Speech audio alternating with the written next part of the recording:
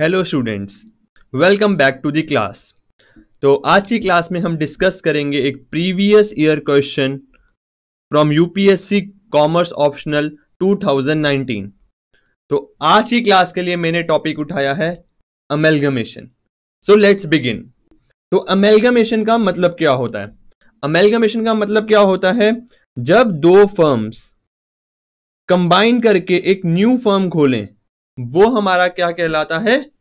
Amalgamation कि जो हमारी दो कंपनी जो पुरानी है, वो बंद हो जाएँगी और एक नई कंपनी इनकॉर्पोरेट होगी या स्टार्ट होगी, वो हमारा कहलाता है अमेलगमेशन दो पुरानी कंपनीज़ बंद हुई और दोनों ने मिलके एक नई कंपनी खोल ली दैट इज़ अमेलगमेशन जैसे अभी रिसेंट टाइम पे क्या हुआ?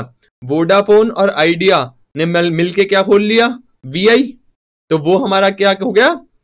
अमेलगमेशन अब अमेलगमेशन की अकाउंटिंग हम करने के लिए हमारे पास दो मेथड्स होते हैं।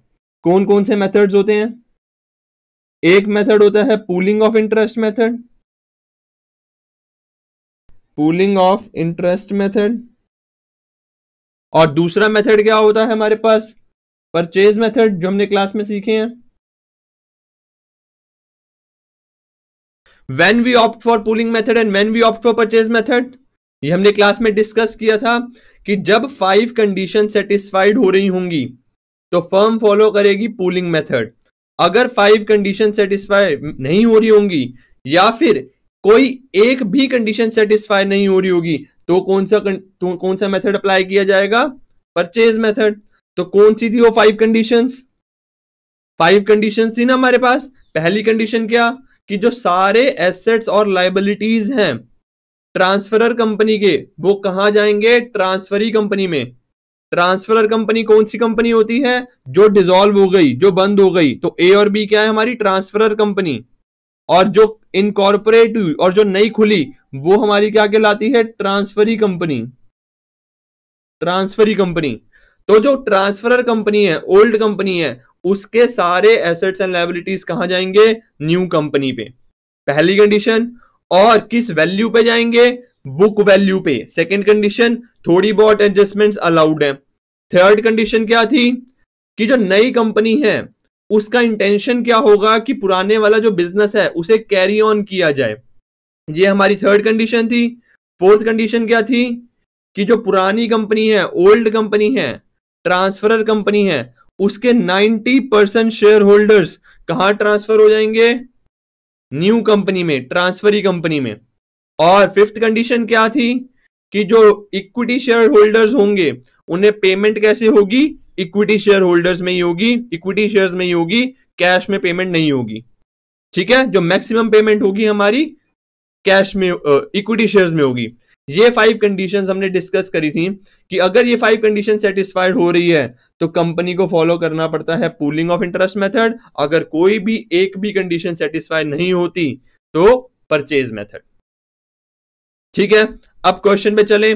2019 का प्रीवियस ईयर का यूपीएससी का क्वेश्चन है एमेलगमेशन का। बहुत ही सिंपल सा क्वेश्चन आया हुआ है। ठीक है? स्टार्ट करें। तो क्वेश्चन क्या है? Sun Limited and Moon Limited were amalgamated on and from first April A new company called Black Hole Limited was formed to take over the business of the above two companies. मतलब दो companies हमारी क्या हो गई? Dissolve हो गई। कौन कौन सी? सन लिमिटेड और मून लिमिटेड और मिलके दोनों ने एक नई कंपनी खोली Black Hole Limited Black Hole Limited क्या करेगी? सन लिमिटेड और मून लिमिटेड का काम बिज़नेस को टेक ओवर करेगी। The balance sheet of Sun and Moon Limited on thirty first March are given below तो ये बैलेंस शीट हमें गिवन है सन लिमिटेड की एंड मून लिमिटेड की। ठीक है? एडिशनल इंफॉर्मेशन में क्या दे रखा है? Preference shares of Sun Limited and Moon Limited have received the same number of 15 percent preference shares of rupees hundred each in the new company मतलब प्रेफरेंस शेयर होल्डर्स को कैसे पेमेंट करी गई है? फिर बात करी हुई है डिबेंचर शेयर होल्डर्स को कैसे पेमेंट करी गई है? और फिर एंड में बात करी हुई है कि इक्विटी शेयर को कैसे पेमेंट करी गई है। You are required to prepare the balance sheet of Black Hole Limited on first April 2019 after the amalgamation out of using the pooling of interest method question में स्पेसिफिकली गिवन है that we have to follow the pooling of interest method क्या होता है pooling of interest methods कि हम company के जो old company है जो ट्रांसफरर कंपनी है, उसके सारे एसेट्स एंड लाइबिलिटीज कहाँ ट्रांसफ़र हो जाएँगी? ट्रांसफरी कंपनी में। ठीक है? करें क्वेश्चन को स्टार्ट क्वेश्चन को स्टार्ट करने से पहले, सबसे पहले हम क्या कैलकुलेट करेंगे? परचेज कंसिडरेशन परचेज कंसिडरेशन क्या होता है? परचेज कंसिडरेशन परचेज कंसिडरेशन क्या होता है? परचेज कंसिडरेशन वो अमाउंट होती है जो new company transferee company old company के शेयर होल्डर्स को पेमेंट करती है। जो ओल्ड कंपनी के शेयर होल्डर्स को पेमेंट करती है, उसे कहते हैं हम परचेज कंसिडरेशन ठीक है? तो इधर क्या है? हमारा कौन पेमेंट कर रहा होगा? Black Hole Limited Black Hole Limited किस किस को पेमेंट कर रही होगी? एक तो सन लिमिटेड को और एक मून लिमिटेड को। तो सन लिमिटेड को और मून लिमिटेड को क्या क्या पेमेंट कर रही है? वो हमें कहा गिवन है? इंफॉर्मेशन में। अब हम वो देखते हैं। तो सबसे पहले इक्विटी शेयर्स की बात करूँगा। तो इक्विटी शेयर्स में जब हमें बात करें तो इक्विटी शेयर्स की इंफॉर्मेशन ये दे रखी। Black Hole Limited had issue 1.5 equity shares for each equity share of Sun Limited मतलब अगर सन लिमिटेड का एक इक्विटी शेयर होल्डर है उसे ब्लैक होल लिमिटेड में 1.5 शेयर्स दिए जाएँगे। वैसे पॉइंट में शेयर नहीं जाते मतलब अगर मान लो किसी के पास दो शेयर्स होंगे तो उसे कितने शेयर्स मिल जाएँगे ब्लैक होल के? थ्री शेयर्स तो टोटल शेयर्स शेयर होल्डर्स कितने हैं? टोटल अमाउंट कितनी है शेयर शेयर होल्डर्स की? तो इक्विटी शेयर की 2000 अमाउंट है इन लैक्स तो मैं अगर 2000 ही लेके चलता हूँ 2000 है और हंड्रेड रुपीज़ का है। तो ये क्या हो गया? 20 शेयर होल्डर्स 20 को ब्लैक होल वालों को कितने मिल जाएँगे? 30 30 तो अमाउंट कितनी आ जाएगी? 3000 30 क्योंकि ये जो न्यू शेयर इशू हुए हैं, वो भी किस अमाउंट पे हुए हैं? हंड्रेड ईच तो 30 into hundred three thousand lakh rupees की हमारी क्या आ जाएगी? अमाउंट जो मतलब ब्लैक होल लिमिटेड के जो इक्विटी शेयर्स किसको जाएँगे? सन लिमिटेड को। ये कौन से वाले हैं? सन लिमिटेड को जो ट्रांसफ़र हुए। अब हम बात कर लेते हैं मून लिमिटेड को कितनी, कितने ट्रांसफ़र होंगे? तो मून लिमिटेड को ट्रांसफ़र होंगे one equity share for each of Moon Limited तो मतलब अगर जिसके पास जितनी पहली अमाउंट थी, जितने पहले शेयर्स थे, उतने ही अब ब्लैक होल लिमिटेड के मिल जाएँगे। तो ब्लैक होल लिमिटेड के कितने मिल जाएँगे? 1600 थे पहले 1600 लाख तो अब भी कितने रहेंगे? 1600 लाख तो ये हो गया 1600 लाख तो ये टोटल हो गया 4600 मतलब ब्लैक होल लिमिटेड ने equity shares of Sun and Moon Limited को 4600 टोटल अमाउंट दी है 4600 लाख मैं लैख को अभी इग्नोर कर रहा हूँ क्वेश्चन को समझाने के लिए। ठीक है? फिर बात कर लेते हैं प्रेफरेंस शेयर्स की। प्रेफरेंस शेयर्स को क्या क्या गिवन है? Preference shareholder of Sun and Moon Limited have the same number of 15 percent preference shares of rupees hundred each in a new company तो पहले कितने परसेंटेज का शेयर थे? अच्छा 15 परसेंट के ही थे। मतलब जो पहले थे वो ही अभी रहे हैं। तो पहले 800 और 600 थे, 600 थे। तो अब भी उन्हें ब्लैक होल लिमिटेड के 800 प्रेफरेंस शेयर्स और 600 प्रेफरेंस शेयर्स मिल जाएँगे। 800 लैक अमाउंट के प्रेफरेंस शेयर्स और 600 लैक अमाउंट के प्रेफरेंस शेयर्स तो प्रेफरेंस शेयर्स कितने मिल जाएँगे? 800 सन को और मून लिमिटेड वालों को भी कितने के मिल जाएँगे? 600 को। तो टोटल अमाउंट क्या हो जाएगी हमारे पास? 1400 ठीक है? ये हमने क्या हो गया? कितनी परचेज कंसिडरेशन इक्विटी शेयर्स वालों को दी? कितनी प्रेफरेंस शेयर्स वालों को दी? अगली इंफॉर्मेशन में क्या एक और चीज़ गिवन है? क्या डिबेंचर्स को कितनी पेमेंट करी? क्या इसे हम इंक्लूड करेंगे परचेज कंसिडरेशन कैलकुलेट करने वक्त? बिल्कुल भी नहीं। हमने डिस्कस किया था कि परचेज कंसिडरेशन में सिर्फ़ वही अमाउंट आती है जो ओनर्स को पे होती है। और ओनर्स को क्या हो गया? ऑनर्स का मतलब हो गया हमारा इक्विटी शेयर होल्डर्स और प्रेफरेंस शेयर होल्डर्स डिबेंचर्स तो हमारे क्रेडिटर्स में होते हैं लाइबिलिटी होती है। ठीक है? तो परचेज कंसिडरेशन में क्वेश्चन अटेम्प्ट करते वक्त हम ध्यान रखेंगे कि हमें डिबेंचर्स को इंक्लूड नहीं करना। तो टोटल परचेज कंसिडरेशन ये आ जाएगी सिक्स थाउज़ेंड लैख ठीक है? सिक्स थाउज़ेंड रुपीज़ की। अब अमेलगमेशन के क्वेश्चन में फिर हमने क्या बात करी थी? The difference between purchase consideration and share capital of transfer company देखना होगा। हमें क्या देखना होगा? Difference between purchase consideration and share capital of transfer company मतलब जो पुरानी कंपनी है, जो ओल्ड कंपनी है, उसके और परचेज कंसिडरेशन का डिफरेंस देखना होगा। अगर नई कंपनी ने, अगर न्यू कंपनी ने परचेज कंसिडरेशन ज़्यादा पे करी है। अगर न्यू कंपनी ने परचेज कंसिडरेशन ज़्यादा पे करी है शेयर कैपिटल से तो वो उस अमाउंट को रिड्यूस करेगी अपने रिज़र्व में से। अगर कम पे करिए तो अपने रिज़र्व बढ़ा देगी।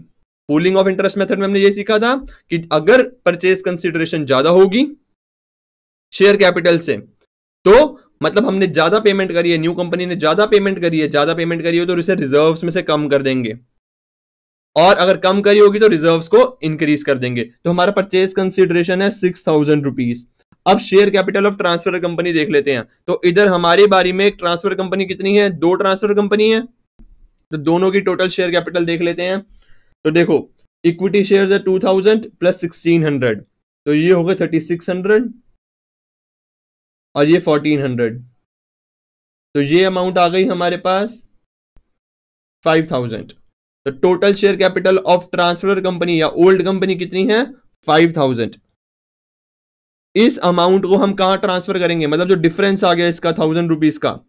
देखो मतलब उनको नई कंपनी को देना कितने चाहिए थे? फाइव थाउज़ेंड उसने पे कितने करिए six thousand total amount six thousand lakh तो मतलब थाउज़ेंड उन्होंने एक्स्ट्रा पे करे न्यू कंपनी ने तो वो अपने रिज़र्व में से इस अमाउंट को आ, कम कर लेगी। तो हम ध्यान रखेंगे जब हम बैलेंस शीट बनाएँगे तो थाउज़ेंड रुपीज़ को हमने रिज़र्व में से कम करना है।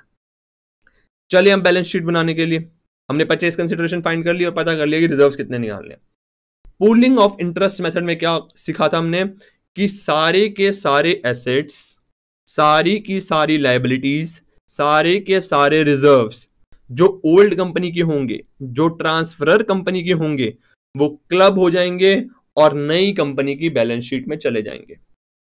मतलब जो एसेट्स अनलिमिटेड के हैं जो एसेट मून लिमिटेड के हैं, दोनों के क्लब हो जाएँगे। जो लाइबिलिटी सन लिमिटेड की हैं, जो मून लिमिटेड की हैं, दोनों क्लब हो जाएँगी, वो ब्लैक होल लिमिटेड में चली जाएँगी जो रिज़र्व सन लिमिटेड के हैं, जो रिज़र्व मून लिमिटेड के हैं, दोनों क्या हो जाएँगे क्लब हो जाएँगे। और क्लब होने के बाद एक साथ ब्लैक होल लिमिटेड की बैलेंस शीट में शो होंगे। यही बात हमने डिस्कस करे थे। अब चले बैलेंस शीट प्रिपेयर करते करें। तो अब हमें क्या करना है? इनकी बैलेंस शीट को क्लब करना है।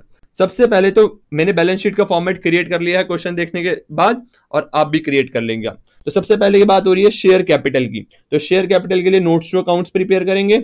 अब शेयर कैपिटल में पुरानी अमाउंट नहीं देखनी। अब हमने देखना है ब्लैक होल लिमिटेड ने नए शेयर इशू करे।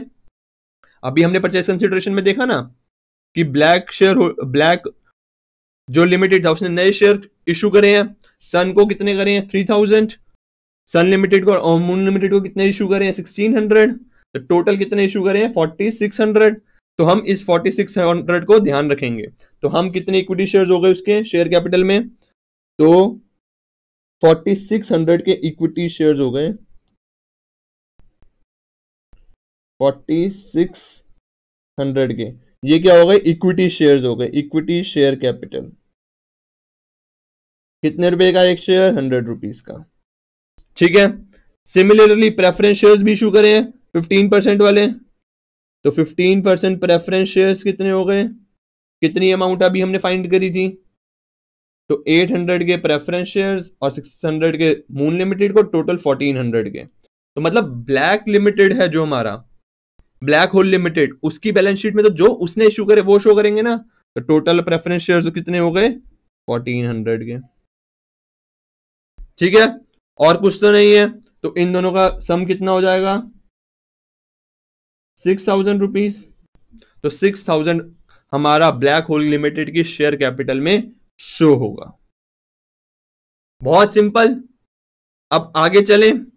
फिर बात आती है हमारे रिजर्व्स एंड सरप्लस की। रिजर्व्स एंड सरप्लस को क्या करना है? क्लब करना है और ध्यान रखना है कि हम जनरल रिज़र्व में से थाउज़ेंड को सब्ट्रैक्ट कर देंगे क्योंकि हमने कंसिडरेशन ज़्यादा पे करी है। तो सबसे पहले रिज़र्व देख लेते हैं। तो अपना एक रिवेल्युएशन रिज़र्व दे रखा है, जिसकी 200 की अमाउंट अनलिमिटेड की है और 160 की अमाउंट मून लिमिटेड की है। तो रिवेल्युएशन रिज़र्व हो गया हमारा। तो रिज़र्व एंड सरप्लस में रीवैल्यूएशन रिज़र्व इसकी दो चीज़ें अमाउंट्स हैं हमारे पास। किस किस की हैं? एक ऑफ़ सन लिमिटेड एक सन लिमिटेड की है और एक मून लिमिटेड की है। कितनी कितनी अमाउंट है? सन लिमिटेड की है हमारे पास 200 और इसकी है 160 और टोटल कितना हो गया? 360 ठीक है? और कोई रिज़र्व एंड सरप्लस दे रखे हैं बैलेंस शीट में? फिर आता है हमारे पास जनरल रिज़र्व जनरल रिज़र्व में 400 एंड 300 तो जनरल रिज़र्व आता है हमारे पास reserve of Sun and Moon 400 and 300 अब इसमें से हमें सब्ट्रैक्ट करने हैं थाउज़ेंड भी। थाउज़ेंड रुपीज़ सब्ट्रैक्ट करने हैं क्यों? जो हमने एडजस्टमेंट करी थी अमेलगमेशन की। तो adjustment for amalgamation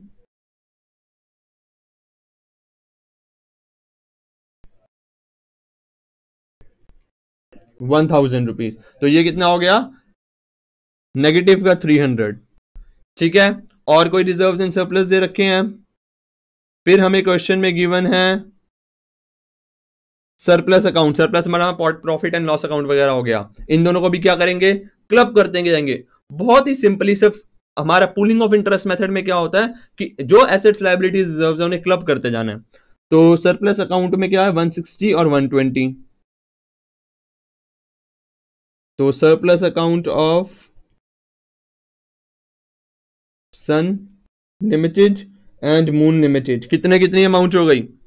sun Limited की कितनी थी और मून लिमिटेड की कितनी थी? 160 एंड 120 टोटल आ गया 280 तो टोटल हमारे रिज़र्व एंड सरप्लस कितने हो गए? ये आ गए हमारे 340 टोटल हमारे रिज़र्व एंड सरप्लस कितने हैं? 340 जो नई ब्लैक ब्लैक होल लिमिटेड है, उसके रिज़र्व एंड सरप्लस हैं 340 बहुत सिंपल काम। आगे चलें, और क्या किया मैंने बैलेंस शीट्स में? फिर अगली बात करी गई है twelve percent debentures of rupees hundred each. अब डिबेंचर्स जो हैं, वो ट्वेल्व परसेंट के रहे हैं। इन्फॉर्मेशन में क्या गिवन है क्वेश्चन में? क्वेश्चन में गिवन है कि 12 percent debentures of Sun and Moon Limited are discharge by a new company by issuing advocate number of 16 percent debentures of 100 each मतलब जो हमारे 12 परसेंट वाले डिबेंचर्स थे, अब वो कितने परसेंटेज वाले बन गए? सिक्सटीन परसेंटेज वाले। तो हम बैलेंस शीट में ऐसे लिखेंगे टोटल अमाउंट कितनी है इसकी? 192 और 160 तो ये हो गई हमारी 352 तो जो 16 परसेंट वाले डिबेंचर्स हैं हमारे तो लॉन्ग टर्म बोरविंग्स में हम कैटेगराइज करते हैं बैलेंस शीट में डिबेंचर्स को। तो 16 परसेंट डिबेंचर्स की अमाउंट जो आ गई, वो कितनी आ गई? 352 यही होगा। क्योंकि दोनों को हमने पुराने वाले डिबेंचर्स को, हमने क्या करा है? न्यू डिबेंचर्स इशू कर दिए हैं 16 परसेंट वाले। पहले जो 12 परसेंट वाले थे, अब उनके पास कौन से डिबेंचर्स हैं? 16 परसेंट वाले। लेट्स प्रोसीड आगे।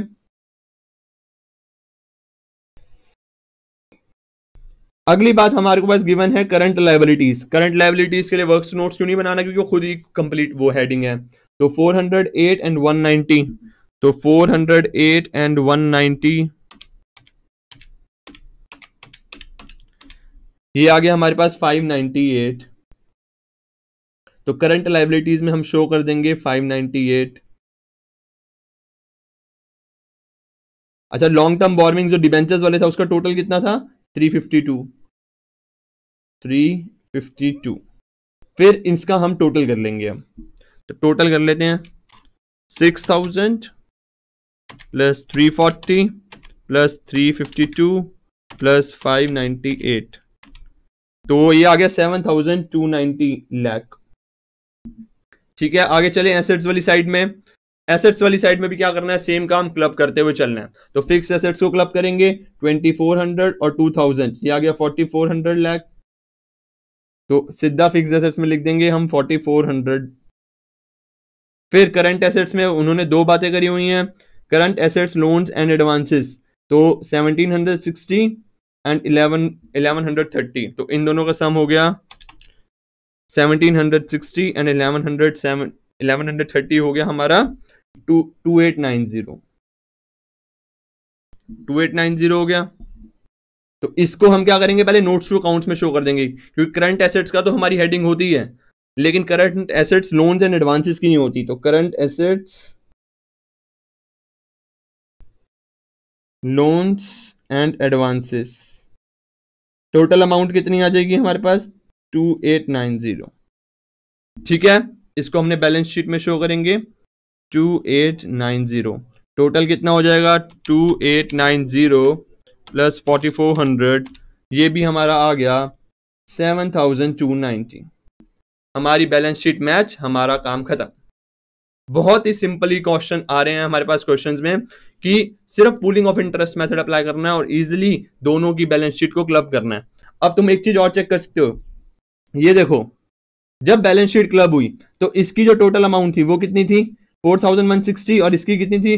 थ्री थाउज़ेंड वन थर्टी तो अगर मैं इन दोनों का भी सम करूँगा four thousand one sixty plus three hundred one thirty तो ये अमाउंट भी हमारी कितनी आ रही है?